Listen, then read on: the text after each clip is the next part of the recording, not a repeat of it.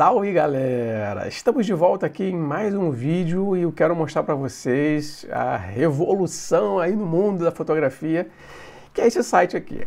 Esse site mostra um monte de fotos e até aí nada demais, né? Tem um monte de foto aqui de um monte de gente e até aí morreu Neves. E aí, qual é a boa? O que está acontecendo aqui?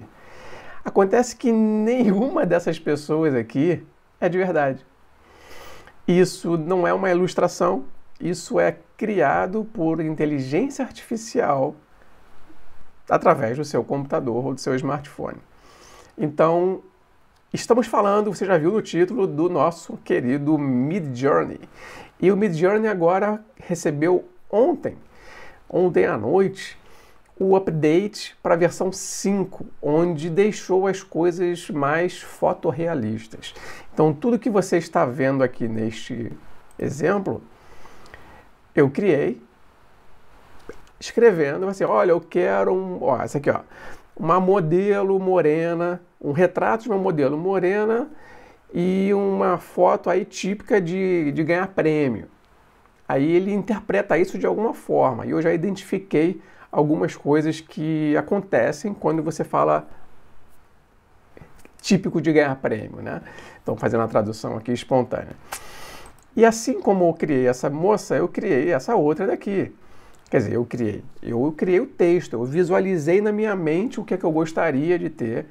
E aí que é a parte interessante para nós fotógrafos. Nós temos uma vantagem em relação à grande maioria das outras pessoas, porque na teoria, a gente deveria imaginar as coisas antes de produzir. Então você tem aquela imagem mental do quadro que você vai pintar através da sua fotografia. E pintando esse quadro, você descreve esse quadro, né?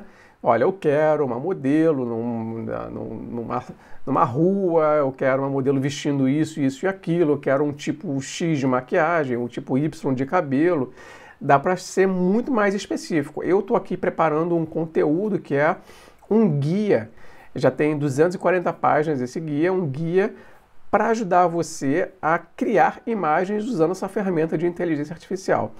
Então nós estamos aqui no canal da foto dando o passo adiante, saindo da mundo, do mundo da fotografia por si só, câmera, mente, a sua bagagem e fotografar, para entrar no mundo moderno, porque as coisas evoluem, já estamos aqui 10 anos de canal da foto e as coisas mudam, né? O mundo muda, então temos que nos atualizar.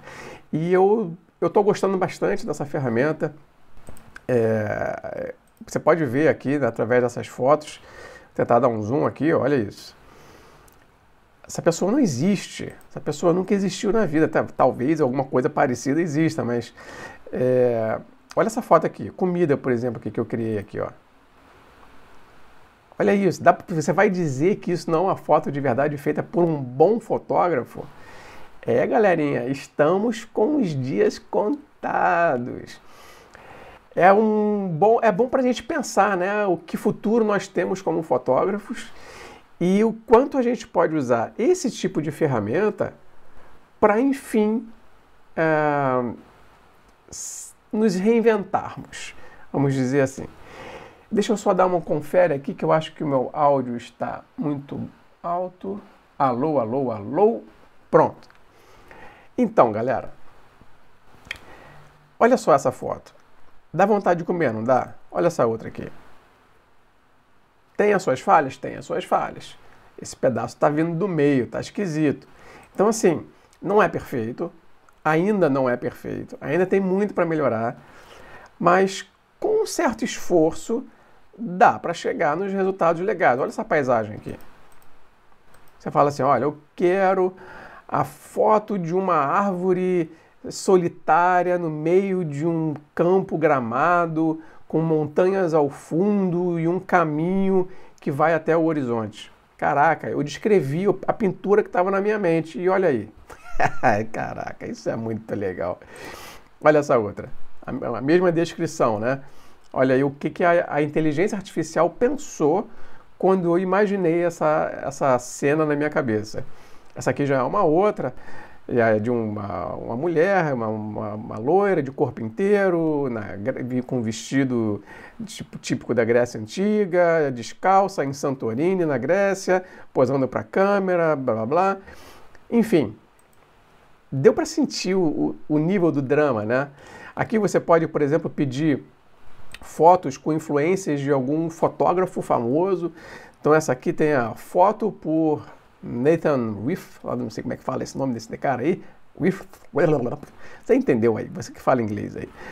Enfim, é, e aí se você olhar para o portfólio dele, né, pesquisa aí no Google o nome do cara, você vai ver que não está longe do que o cara realmente produzia, né?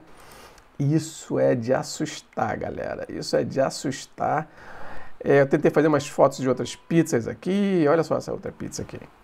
Pepperoni, Cara, aqui eu pedi umas fotos multiculturais, tu, duas mulheres fortes multiculturais, blá blá. Tem um monte de coisa aqui para dentro do, do, do, do, pedido, né? Então existe uma ciência, existe uma técnica, existem coisas que você tem que saber para chegar nesses resultados. Às vezes você faz uma coisa muito simples e já chega a um resultado bom. Às vezes você tem que elaborar. E você tem que saber os, as pegadinhas do negócio, o que, que você vai adicionar, as coisas típicas que a galera adiciona para chegar em resultado A, B, C. Tem coisas específicas de iluminação, por exemplo. Você fala, pô, eu quero luz de Rembrandt. Tem, tem que pedir, né? Eu quero uma luz típica de Rembrandt. Eu fiz uma aqui é, com, com os tipos de iluminação. Vou até ver se eu acho aqui a luz de Rembrandt. Olha isso aqui, interior de carro, a foto no, dentro do carro. Olha aqui. Parece um, um clipping né, de, um, de um filme. É... Olha essa simpática cerejinha. Cara, o que você imaginar, você vai conseguir fazer aqui. Na, na grande maioria das vezes, assim, perde um, perde-se um tempinho para chegar lá, mas você chega lá. Tem que saber as limitações também, mas você chega, chega cada vez mais você vai chegando cada vez mais resultados surpreendentes. Olha aqui, a saladinha voando, hambúrguer, as paisagens, olha aqui, olha essas, esses. Uh, mais ou menos aquela mesma cena, só que agora com, com pôr do sol etc. Galerinha, temos que nos preparar. Temos que nos preparar e os sábios usam agora esse tipo de ferramenta. E a galera está usando para quê? Está usando para fazer print on demand, ou seja, você cria foto, você não precisa mais pô, perder seu tempo, gastar a sua câmera, ir para a rua, uh, viajar, esperar o momento certo para fazer foto. Cara, você chega aqui e fala assim, eu quero uma foto, sei lá, tipo luz de meio-dia. Pá, vai lá e te dá um monte de ideia. Eu quero foto com sunset, com, com pôr do sol. Vai lá e e te dá o resultado. Eu quero blue hour, aquela depois do pôr do sol que já fica o céuzinho meio azulado. Entendeu o, poder disso? Aí a galera chega aqui, faz um monte de foto, um monte de imagem, tem ilustrações, tem um monte de coisa. Olha aqui, eu tentei fazer umas ilustrações aqui no estilo Angry Birds. É, comparando a versão 5 com a versão 4, que eu já tinha feito um monte. É, olha aqui essa, essa galera típica brasileira. Cara, mulher de 25 anos do Brasil, um retrato, como é que é? Street, street photography, que é fotografia de rua, com uma 100mm f8. O f8 aqui, 100mm f8, ele, ele ignora, tá? Foi só uma uma, uma ajuda aqui que eu dei para na época para chegar no resultado mais fotográfico e tal. E eu estou refazendo as coisas do livro, então para atualizar para a versão 5. Olha aqui. Olha isso.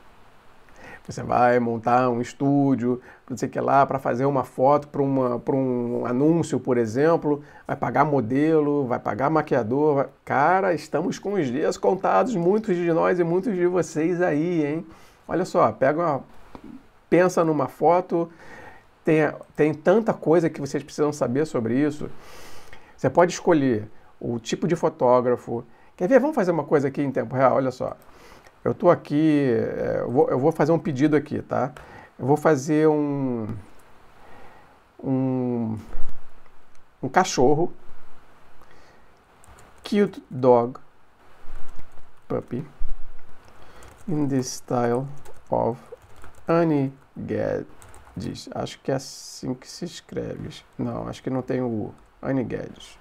Enquanto tá gerando lá, vamos dar uma olhada aqui nas coisas que a galera da comunidade aí do Midjourney tem criado.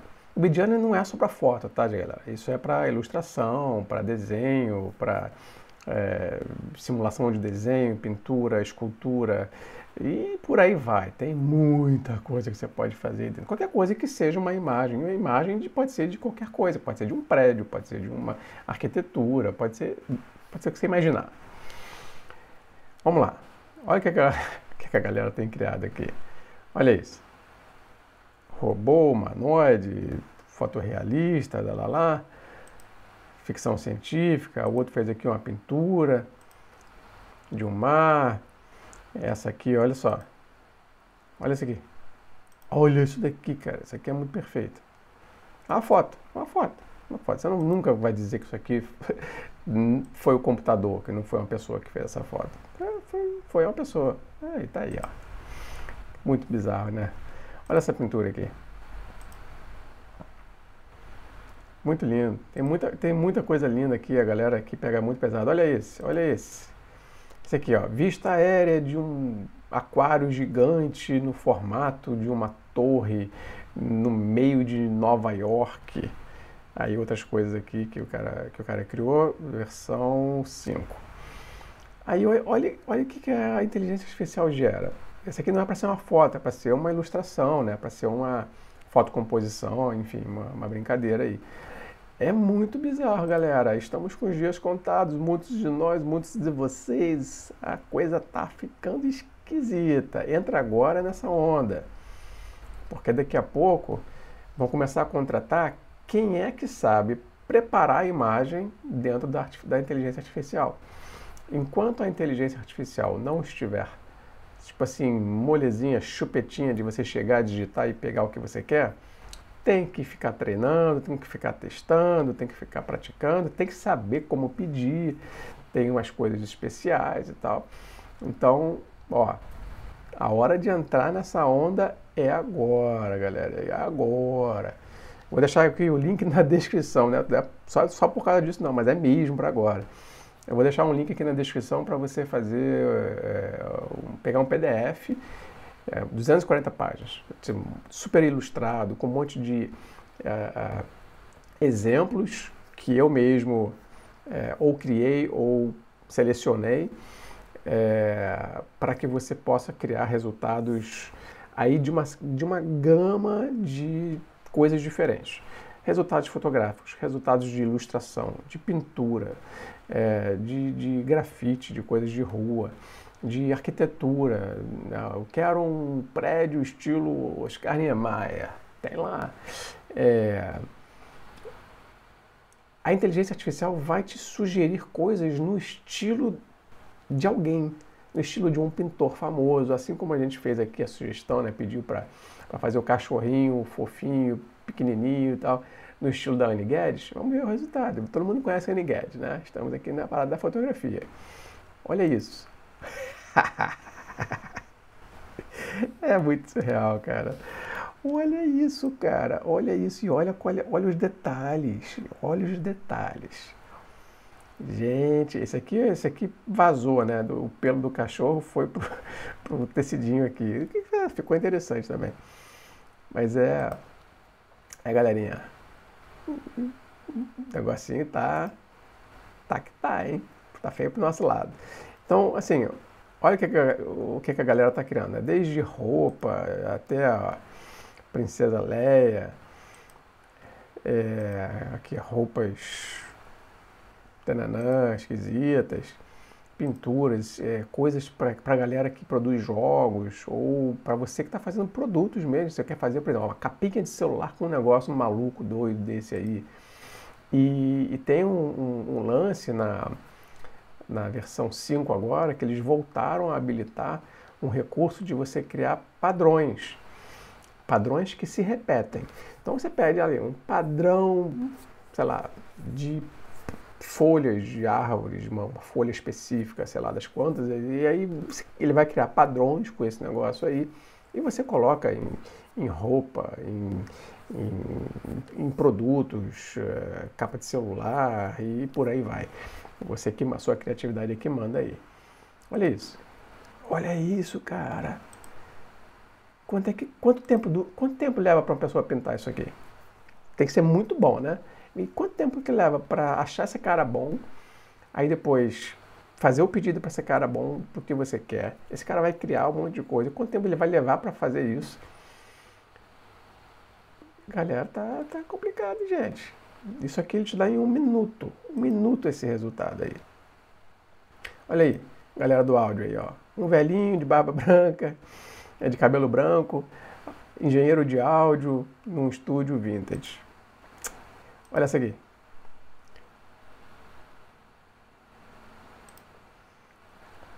Essa aqui é uma foto, né? Mas o mais legal, olha só, não foi na versão 5, foi na versão 4. E aí tá dizendo assim, olha, Hasselblad, blá blá blá, 24mm, é, full body shot.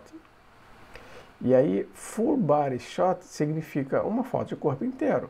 Mas a inteligência artificial não entregou uma foto de corpo inteiro. Por quê? Porque isso era na versão 4. E na versão 4 tinha um monte de probleminha. Você consegue resultados fotográficos? Consegue, mas tem que saber como pedir. Aí essa pessoa daqui pediu uma coisa, mas não pediu direito. E aí não pegou a coisa certa. A inteligência artificial não entregou aquilo que ela queria. Então ela não soube pedir. Aí eu criei esse guia para te ensinar a saber pedir. Seja na versão 4, que para mim ainda entrega resultados mais esteticamente amigáveis, assim, boa composição, boa iluminação. Olha essa aqui, olha essa foto aqui. Porra, pra mim tá linda. É, enfim. É, macaquinho. Carinha aqui, não sei qual foi. The new and improved dynamic pose. tipo, uma pose dinâmica melhorada. Nova e melhorada. Olha o estilo de, de, ilustração. E o mais legal é que agora você também consegue criar é, proporções muito diferentes. Que antigamente você podia criar tipo 2 por 3, 3 por 2 ou 1 por 1. Ou seja, 1 por 1 é quadrado, 2 por 3 é, é, é portrait, que é retrato, e 3 por 2 que é landscape, que é horizontal, é paisagem. E aí Agora, não, não, não, tem mais essa limitação. Agora você viu que a galera aqui criou aqui. Olha o tamanho dessa foto aqui. O cara, sei lá, botou 1 por 20. O que, que é isso aqui? Não, 1 por 3. Viajei, não por 20, né? 1 por 3. Olha aí. Aí a resolução final ficou 640 pixels por 1904. Aí o pulo do gato é pegar isso daqui, colocar em outra inteligência artificial para fazer o upscale com qualidade e aí o céu é o limite. É... Olha esse aqui que interessante. Não é uma foto, né? Não parece uma foto. Quer dizer, pequenininho parecia, mas quando você abre assim, não parece uma foto. Aí vamos, vamos ver a descrição, cara, aqui, ó. Render 3D. Render 3D de cara, já assim, não é foto. Foi uma coisa feita por computador. Do Citroën DS Palace. É, não sei o que, que é Preparation, não tenho a menor ideia. É, um fundo maravilhoso, é, luzes volumétricas, que é esse, essa névoazinha aí do fundo, e Unreal Engine 5. Unreal é um motor de jogo, que chamam de Game Engine, Game Engine é, que é muito conhecido por ter gráficos muito realistas. É a versão 5 em especial. Eu uso a, a Uh, eu criei um simulador de fotografia na Unreal Engine 5, é 5. E, resumindo, o cara pediu um resultado não fotográfico. Ele teve um resultado não fotográfico como resposta. Isso parece uma coisa feita, sei lá, de, um jogo, alguma coisa assim, entendeu? Então, sabendo como pedir, você pega a coisa certa. Não sabendo, você pega a coisa. Tipo, digamos que o cara escreveu aquilo lá e que assim, pô, quero um negócio fotorrealista, vou pedir lá Unreal Engine 5 que ele vai me dar. Não, não vai dar. Não vai te dar porque não é fotorrealista. É assim, não é fotográfico, é fotorrealista, o que é diferente. Fotográfico vem da câmera. Fotorrealista pode ser uma pintura fotorrealista, pode ser um desenho fotorrealista, que ele parece com a realidade, mas não é. Tem uma galera assim, pô, olha isso, cara. Viking. Cara, isso é muito bem feito, pelo amor de Deus. Parece cena de filme. Muito surreal. Deu para sentir, galera, o, o, nível aqui que a gente está, né? Então é isso. Ó, eu. Lindo. Dá, dá para perder aqui o dia inteiro vendo esse negócio aqui. Olha, olha isso daqui, cara. Olha. Galera passa anos estudando iluminação. Aí vem alguém aqui, passa lá um tempinho lá eh, digitando, imaginou a cena. Agora imagina isso, o poder disso daqui. Se você vai fazer uma campanha publicitária, se você vai fazer uma, uma ilustração para uma revista, alguma coisa para falar sobre alguma coisa específica, o poder que você tem nas mãos aqui de você não ter que contratar modelo, contratar fotógrafo, desculpa aí galera, mas é a realidade contratar maquiador, contratar. É, agora, daqui a pouco, a moda vai ser maquiagem digital, porque. Ah, por, e por falar nisso, tem um curso no canal da Foz sobre maquiagem digital. É, porque, tipo, você vai pegar uma foto dessa e fala assim, poxa, mas, sei lá, eu queria uma, essa mulher aí, mas com uma maquiagem, não sei das quantas. Aí vai lá e faz, entendeu? Do computador, porque essa mulher não existe. Essa mulher nunca foi fotografada de verdade. E, pô, figurino, locação, tempo, deslocamento, a galera toda, a equipe. Olha quantas pessoas envolvidas para uma produção dessa, os props, né, que são essas coisas do cenário, a, luz certa, equipamento.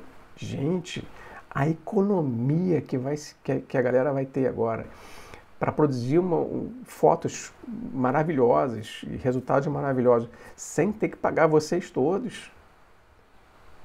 Está na hora de repensar, está na hora de repensar se não vale a pena você entrar nessa onda, aprender a fazer esse tipo de foto através da cabeça, ou seja, imaginando a cena e, e, e, e pedindo e sabendo como pedir isso. Do contrário, você está fora do mercado, galerinha. Você vai, você vai sair. São poucos que vão continuar aí. Quando você tiver que fotografar alguém que existe de verdade, porque fora isso, tipo, vai ficar complicado. Então é isso. Se você não quiser ficar de fora dessa revolução que já está acontecendo, a hora é essa. A hora é essa. Então eu preparei esse conteúdo para vocês, tá, galera? Eu preparei esse conteúdo, são 240 páginas por enquanto é, cobre tudo. Cobre como ter resultados fotográficos, como ter resultados fotorrealistas, como fazer ilustrações, como fazer ilustrações no estilo de tal, de fulano de tal, como fazer fotos no estilo de fulano de tal, como fazer, é, é, sei lá, fotos de um, é, ideias de arquitetura, por exemplo, no estilo, sei lá, de Oscar Niemeyer, por exemplo, e por aí vai. Então tem tudo isso lá incluído e tem também, claro, uma série de prompts, de, de fotos e ideias de prompts para você copiar e adaptar para o que você quer. E tudo isso está em inglês. São 240 páginas. Mas tem uma versão em português. 180 páginas. Tá por dentro aí. Deixa aqui nos comentários se você curtiu a ideia, se você quer esse livro em português, esse e-book em português. Aí eu finalizo das 180 até as 140 páginas e deixo o link aqui na descrição ou lá no canal da foto.com.br. Beleza? É, é download digital, você baixa e usa à vontade, só não pode revender, claro, né? É, que mais, galerinha? É isso. Se você curtiu, deixa o seu joinha, se inscreve no canal, comenta aqui embaixo o que, que você acha dessa revolução toda aí, dessa, de tudo isso que eu apresentei e do que vai acontecer aí nos próximos meses e anos. Esse 2023 promete, hein? Chat GPT, a inteligência artificial para a imagem, como o Midjourney, por exemplo. Tem várias outras, tá? Stable Diffusion, blá blá blá. É, e eu prefiro o Midjourney, é a que entrega resultados mais realistas por enquanto. Pode ser que outras um dia superem, mas por enquanto o Midjourney é o que há. E é, eu estou curioso para saber a sua opinião. E se você quiser entrar nessa jornada aí, me avisa. Me avisa. Me avisa porque se você curtiu esse vídeo, eu quero muito, muito, muito, peço encarecidamente que você deixe o seu joinha, comente alguma coisa aqui, para a gente ativar essa máquina do YouTube, que eu já deixei de gravar vídeos por um tempinho aqui, né, galera? Então, se o YouTube gostar de novo, que eu estou de volta, aí eu gravo mais vídeos. Do contrário, talvez eu vou ter que começar um novo canal, aí depende de vocês. Belezinha, galera? Um beijo, um abraço, obrigado, tchau. Fui, até o próximo vídeo, quem sabe.